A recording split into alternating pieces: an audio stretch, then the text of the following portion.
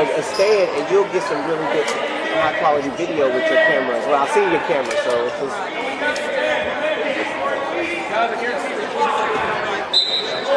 Mm-hmm.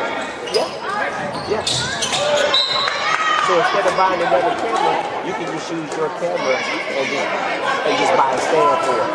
Mm-hmm. It'll save it'll save you some money. Yeah, yeah, yeah, yeah.